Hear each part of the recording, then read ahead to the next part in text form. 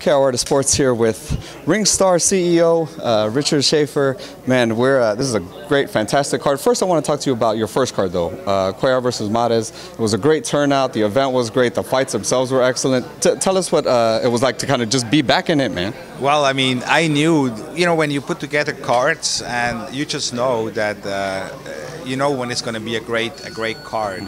And the fans responded. I mean, the fighters uh, turned in a great performance, sensational knockouts, sensational fights. Uh, fans were entertained. Uh, the Galen Center, I think, was a great host.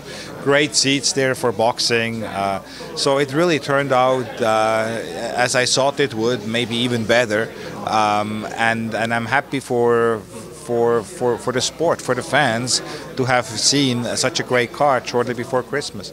And you're starting off 2017 with the bang, man. You're hitting the ground running. This is a fantastic card. It's Santa Cruz versus Frampton 2. It's Zlaticanin versus Mike Garcia. Let's talk about the main event. Uh, a lot of people's uh, fight of the year last year. Um, a lot of people named Frampton fighter of the year because partially because of that victory. Tell us uh, how that main event is going to go. Well, you know, it's another one. You were mentioning December 10th, so you go now to January the 28th.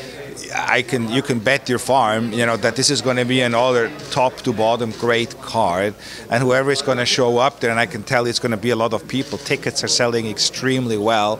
Uh, I anticipate a sellout at the MGM uh, Grand Garden Arena.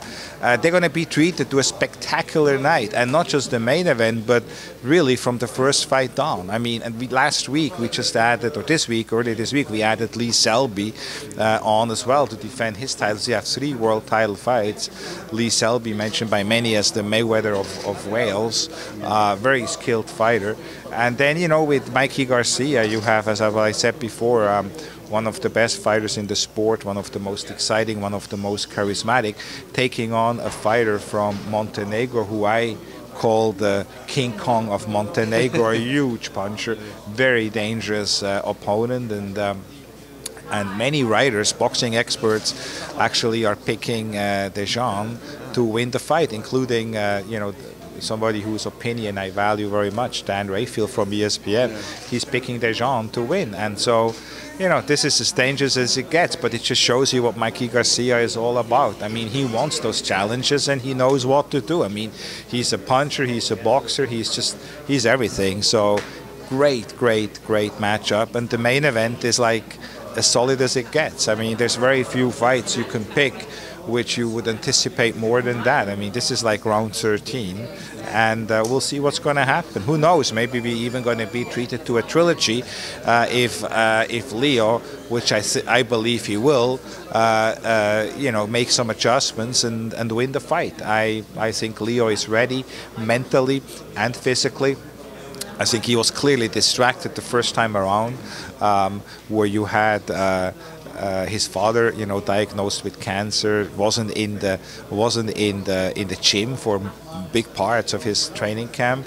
So now here he knows to make the adjustments, and still the first fight was a close fight. I mean, it could have been a draw, it could have been going Leo's way, and. Uh, with all of these distractions and fighting outside of his comfort zone in in, uh, in New York for the first time, and you know all of those things taken into consideration. I think here in Las Vegas, some of the biggest victories Leo's, Leo had came exactly in that arena, so he feels very comfortable. Thank God his father is doing better, and uh, so he's having a great training camp and things are going well. So I feel that that uh, uh, Leo will, will be able to pull it off and, and take those belts back home.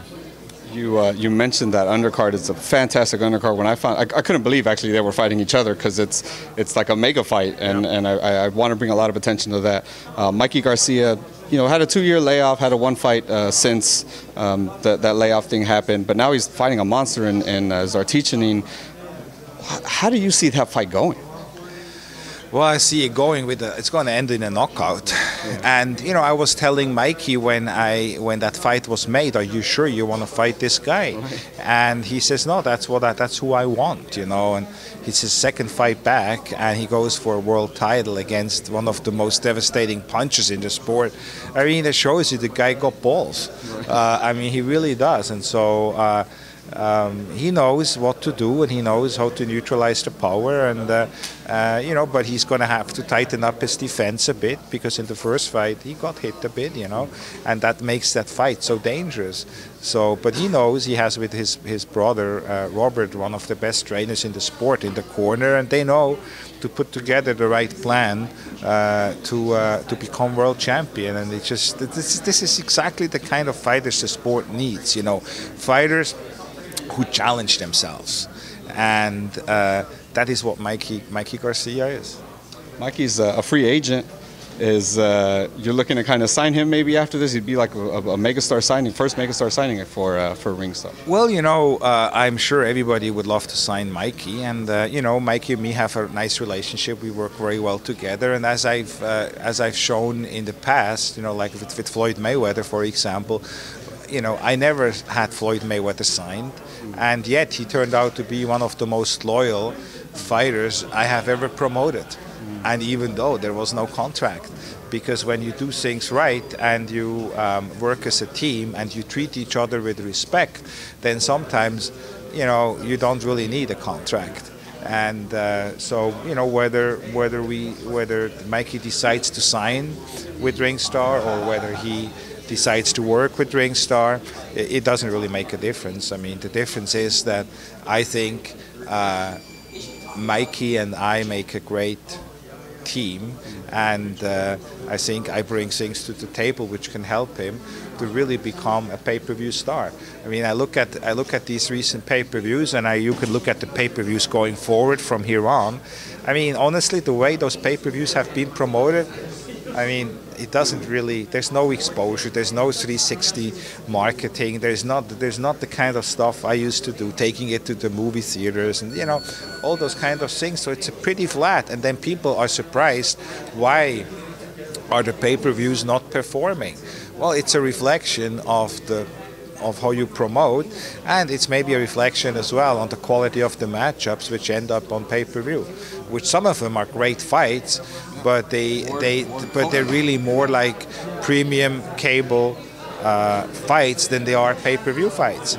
And and you know I recently saw an interview from from Bob from Bob Arum, and I agree with him. I think the sport of boxing has to go through some sort of like a an adjustment period uh, because you have you, you know you have you, you have people who feel that they are entitled to a certain amount of money and yet that certain amount of money is not really reflective of the true market value and you know I think pay-per-view or the lack of paper the lack of, of, of buys pay-per-view buys does the trick I mean it's going to give people a, some sort of a reality check do you feel I've, I've, asked other people about the pay-per-view market right now, and uh, a lot of people tell me that it's kind of like the the hangover from from Pacquiao Mayweather.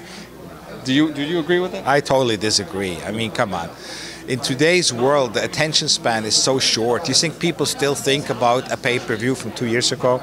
I mean, I mean that's just that's, that's bullshit, you know. So that's not that's not true. Um, and you know the pay-per-view business. You look at some of the pay-per-view numbers UFC has delivered. So so if you have the right pay-per-view and you have the right characters and the right promotion, pay-per-view still sells. And so you just need to have the right the right fights and uh, and the, the right promotion. And you know, I mean, I think the piracy has become a bigger issue. Uh, I see like. Uh, you know, people watching it on Periscope and on of those other things, um, and it's really has really become an issue.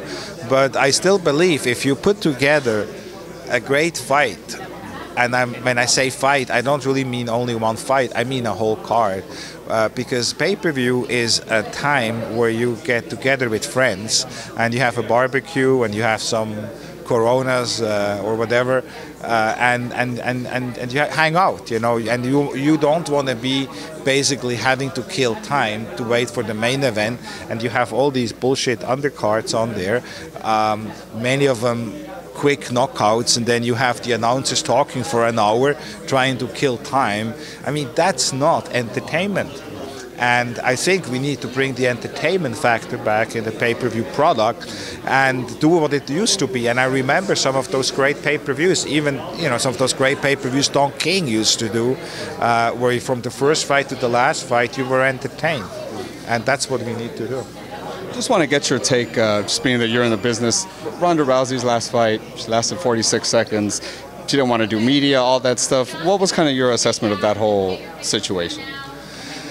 Well, I feel bad for her the way it, it turned out. I think she is a, a tremendous asset to, to the sport, uh, uh, the, the, UFC brand, uh, uh, and I think female female female sports. Period. I mean, she really opened doors for many others, and uh, and I feel bad for her and. Uh, um, you know, and I, I can only wish wish her the best. Maybe she should come to boxing. Hey, there you go.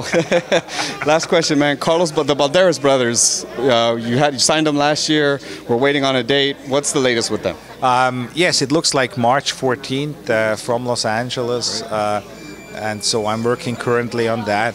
The plan is to put some of the other young Olympians on as well. I signed like Misael Rodriguez, the Mexican Olympian uh, who medaled. Um, Eimantas Stanionis, uh, the star out of uh, amateur star out of Lithuania, and um, and then just the recent signing, uh, who signed uh, with me uh, earlier this week, Money Powell. Uh, so the number one ranked welterweight amateur fighter, who decided 18 years young, who decided to turn pro. I'm really really excited about that. So I want to put together a, a great card with some of these young young emerging talents. Hey man, we can't wait to see where Ringstar goes. You're, you're off and running. We love to have you back. Thank you so much, sir, for the time. Really appreciate it. Thank you.